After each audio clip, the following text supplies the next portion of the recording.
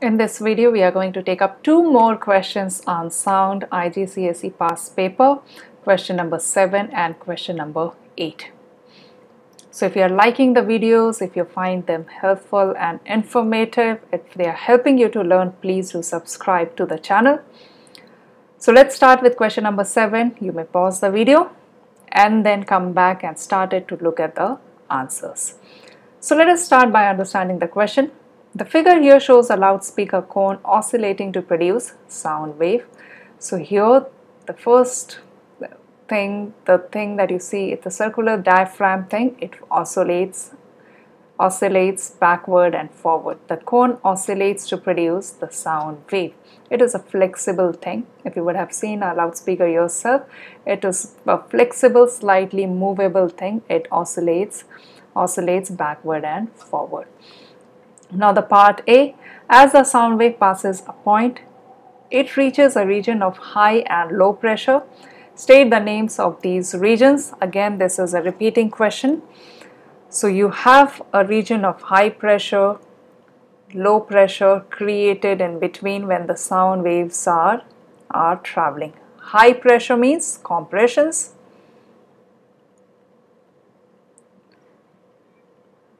And low pressure means you are getting a rarefactions.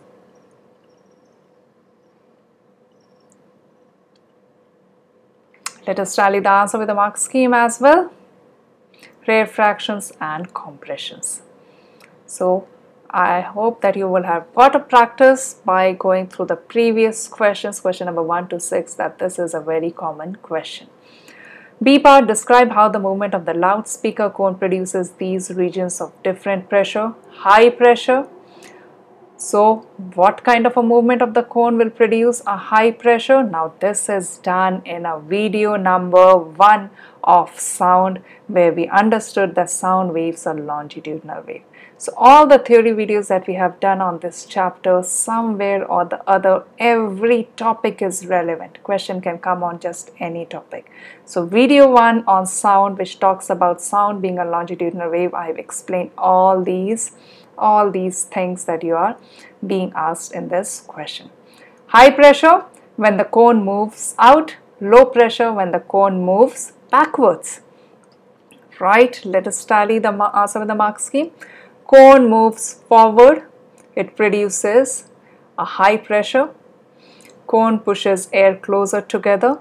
Cone moving backward causes empty space and it creates rarefaction. Let me explain. When this cone, this flexible cone, it will move outward like this.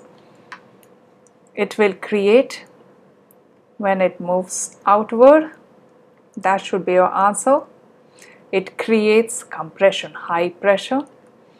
When the cone moves inwards like this this is in out. It won't move so much. It oscillates only slightly but my arrows are big so that you can see. As it moves out compression as it moves back it is a rarefaction backward. Lower pressure when it moves backward why it produces rarefaction when it moves backward. It is explained in the theory video because there is more space created so the air molecule get more space they expand it creates a less density region. Whereas when the cone moves outward it pushes the air molecule together so it creates a high density region which is called compression. Now C part, state the effect of the loudness and the pitch of the sound from the loudspeaker when the amplitude increases but the frequency stays the same. Again and again these kind of questions are coming. Amplitude increases means loudness is more or it increases, pitch stays the same. Right? Similarly second part, amplitude stays the same but the frequency increases. Amplitude stays the same means loudness stays the same and the frequency is increasing so the frequency will be more. These things are also done in the theory video on the properties of sound. The amplitude depends only on the loudness. If the loudness or the amplitude is changing, they, they, they affect each other when the frequency increases, the pitch increase, increases, the loudness has nothing to do with the frequency. Only the pitch relates with the frequency, amplitude relates with the loudness. Alright, so this is done. Question number 7, I'll show you the mark scheme. Make a note of it. You can pause the screen here, understand the mark scheme and then move on to question number 8. A disused railway line has a length of 300 meters. So you have a railway line which is 300 meters. A man puts his ear against one end of the rail and another man hits the other end with a metal hammer. So one person is hitting in one end and the other person is putting his ear on the other end and the distance between them is 300 meters. State an approximate value of the speed of the sound in air. Now this is also something which I explained again and again even during the theory that you need to remember this number. You can give your answer as 300 to 350 meters per second. Any number can be your correct answer. Your answer can be 300, 310, 305, 320, 30, 330. All these numbers are correct uh, also Alright, when you look at the mark scheme as well, they also give a range. Approximately 330. Alright. Sound travels at speed of 5000 meters per second in speed Calculate the time it takes for the sound to travel along the rail. It is easy. You are given the speed. You are given the distance. You can calculate the time. Use the speed formula. Speed is equal to distance over time. Here you have to find time. So time is distance over speed. So distance is how much? Distance is 300 and speed is speed is 5000 when you'll divide these two numbers, you'll get the value of time. You need to use your calculator. Let us see. They're also doing the same thing. Your ultimate answer would be 0.06 meters. 0.06 I'm sorry not meters but seconds it is the time that we are talking about 0.06 seconds alright a man with his ear to the railway line actually hears two sounds from the hammer separated by short interval. Explain why he hears two sound. So what they are saying here in part B is that this man who is putting his ears on the railway line, he is hearing two sounds of the hammer.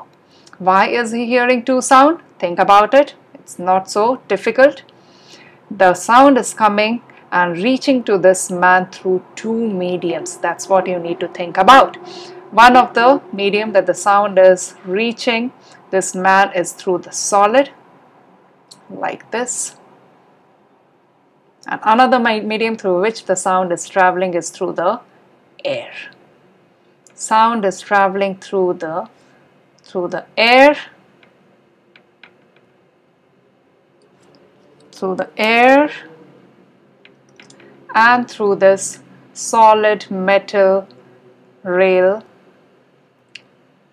as well. So it is traveling through two separate mediums at the same time. And where does the sound travel the faster? The sound travels the faster in the metals. If you do not know the theory about it, please go through the theory on the properties of sound.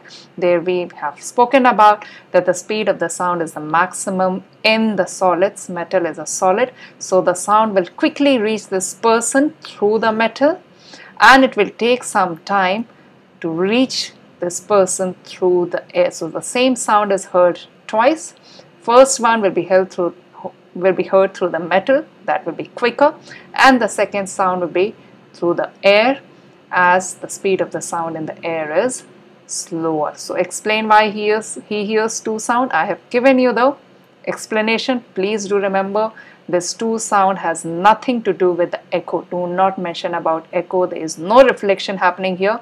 The thing phenomena which is happening here is that the sound is traveling in two mediums. One is faster, one is slower. That's why he hears two sound. If you want, you can look at the mark scheme as well and tally all your answers. So if you look at the mark scheme, they are also saying the same thing. They are saying that the speed in air and the steel are different, right? Sound through air and sound through steel. If you're talking about these things separately, it will be accepted as a correct answer. Do not mention anything about echo because they are not talking, no echo phenomena is happening here in this particular case. So this was all about IGCSE past paper questions on sound. If you need more paper, get in touch with me. I'll post more, more questions on sound.